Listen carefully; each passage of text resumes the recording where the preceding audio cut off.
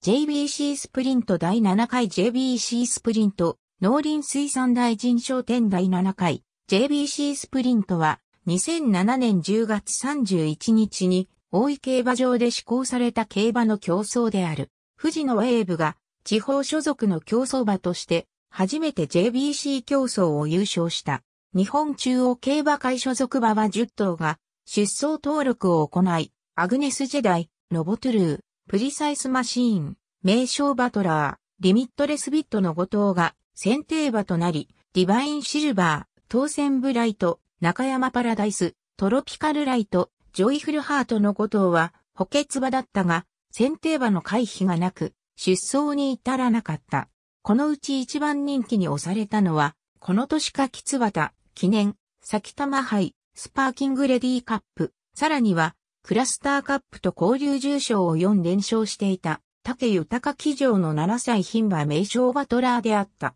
同馬は前年にも川崎、JBC マイルでブルーコンコルドの2着に奮闘しており、初の GI 級競争勝利を目指して、ここに出走してきた。その名称バトラーを前走東京杯で破ったリミットレスビットが2番人気。当時大井所属であった内田博之とのコンビ継続で期待を集めたが、かきつばた記念やさきたま杯では名称バトラーに先着されており2番手の扱いに止まった。3番人気のプリサイスマシーンはこの年の阪急杯の勝ち馬で川崎所属時にも連勝で中央転入を果たした過去がある。芝、ダート問わず、好走していた同馬は2007年も阪急杯1着、高松宮記念3着京王杯スプリングカップ9着、北海道スプリントカップ2着、スプリンターズステークス7着とコースを問わず、短距離重賞に挑戦していた。4番人気、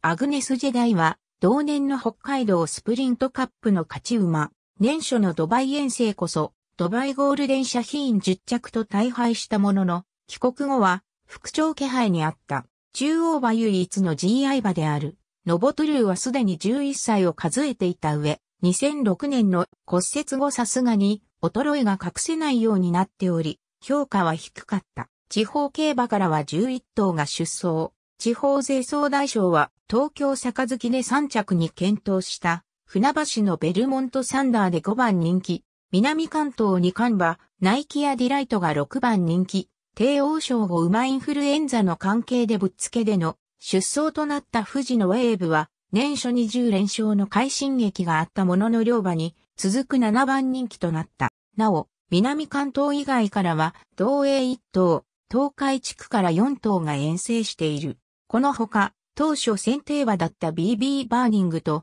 ナガヤマタイガーが回避し、補欠馬だったキングオブライヒと、ロケットパンチが繰り上がり選定された。天気、曇り、馬場状態、良、発送時刻、19時25分負担重量は3歳 55kg、4歳以上 57kg、牝馬 2kg 減。スタート後に逃げたのはアグネスジェダイでプリサイスマシーン、ナイキアディライトなどが続いた。最後の直線ではゴール前にフジノウェーブ、プリサイスマシーン、アグネスジェダイの3頭が接戦を見せ、首差で富士のウェーブが1着でゴールした。ありがとうございます。